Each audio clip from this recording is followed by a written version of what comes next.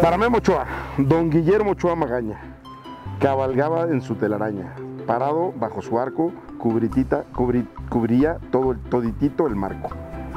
En eso llegó la flaca y le dijo, soy la calaca, te ha llegado la hora de irte con esta señora. Si me dejas flaquita hermosa, te prometo solo una cosa, tú serás la madrina de la 14 de nuestra vitrina. Te voy a decir un secreto antes de que el reloj de la una y es que aparte de ser un fan, soy americanista desde la cuna. Para Paul Aguilar, de Alejandro Enríquez. Con una gran admiración, la muerte observaba a Paul. Se decía, a ese 22 lo quiero de lateral de mi equipo, del más allá. Sin más que pensar, la huesuda se le apareció a Aguilar. Le dijo, despídete del AME, que te tengo que llevar, pero primero tendrás que ganar con las Águilas el título de Guardianes 2020, a como dé lugar. Porque no quiero que me culpen de la pandemia que también los dejé sin su capitán y que disfruten verle bailar. Afortunado en el equipo de la Catrina, qué refuerzo de lujo tendrá. Pero más afortunado Pablo Aguilar, porque siempre en el corazón de los azulcremas quedará. Para Richard. A Bruno Valdés, la muerte anda buscando, para llevarlo al panteón y estarlo masajeando, con el pretexto de aliviar la lesión que lo está aquejando. Masaje y masaje, un campo de ojo, estarse dando.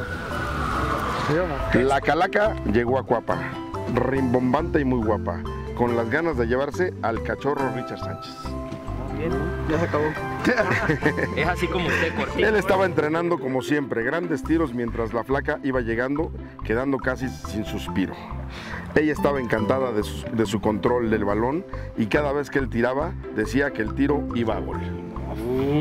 Su emoción no contuvo cuando Richard la miró. ¿Sabes qué? Ya estuvo. Es que ella se apenó. La flaca sabía que ese día era el último de Sánchez, pues con esos tiros a portería en el panteón diría no manches. Y es así como el cachorro juega en el equipo Camposanto y la flaca que lo quería, un chorro, al América dejó en llanto. Para Andrés Ibarwen, de Ángel Almaguer. En el Azteca estaba Ibarwen, en el campo siempre el mejor de pronto. ¿El qué? El mejor. De pronto al piojo le dice la muerte, a ese me lo llevo por hablador. No, está mintiendo. ¿no? Muy parlanchín en colombiano, nunca falta la risa cuando juegue contra las chivas, llámalo, porque los trae de hijas. Ahí no. Ahí nada. lo escribiste tú, hermano. Encontraba a Miguel Herrera preparando su alineación, empezando por sus mejores defensas, pues sabía que ante Chivas era importante la antelación. Jorge Sánchez, Emma, Cáceres y Fuentes fueron los que llamaron su atención. Los clásicos Calaca hay que ganarlos primero en el pizarrón. Escúchame cuando te digo que no debe existir equivocación. Bomba. Todavía hasta el final. la media ya se armaba con Richard, Suárez, Córdoba, Benedetti. Y guarda la guadaña que no es Benedetti el poeta y escritor. Ya la parca calentaba también con la misma clásica emoción. Al ver la delantera y a Ochoa le tembló todito el esternón. Dos Santos y Henry sí que saben pegarle muy bien al balón. Arrancaba el clásico en el Azteca que aunque cambió de nombre a este Campo Santo, así siempre le llamo yo. Qué alegría inmensa se siente en el corazón. Giovanni Dos Santos un golazo anotó. Y a la bomba Martín le anularon uno que sí contó. Qué raro.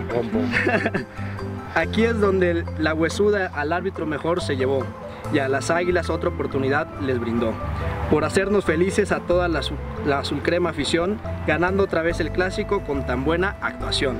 ¡Bomba! A ver, a ver, Para Giovanni Dos Santos. a ver, a ver. La huesuda el entrenamiento observó y a Gio Dos Santos se encontró. Contenta y lista, a Gio se acercó. Si en el próximo partido no metes gol, te llevaré al panteón. Y Gio Giovanni le respondió, a lo mejor no meto gol, pero con mi fútbol el Club América haré campeón. Andaba la calaca y flaca en la feria de San Marcos, cuando quiso hallar galán y que ve a Sebastián. De aquí soy, dijo la huesuda. Se le, se le cargó en un costal, el peso le hacía joroba, pero poco le importó, todo por bailar con Córdoba.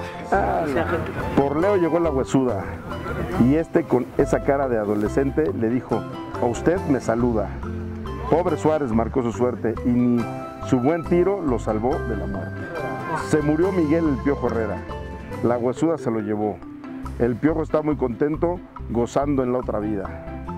Pues la flaca se ha conver- convertido en su mejor amiga. Juntos se van de parranda y arman su reventón. Y la flaca le enseñó a bailar el reggaetón. Órala. Y del piojo se ha enamorado por cochinito y cachetón. Por chonchito, perdón. El- y del piojo se ha enamorado por chonchito y cachetón. Pues la mañosa calaca con él quiere su relación.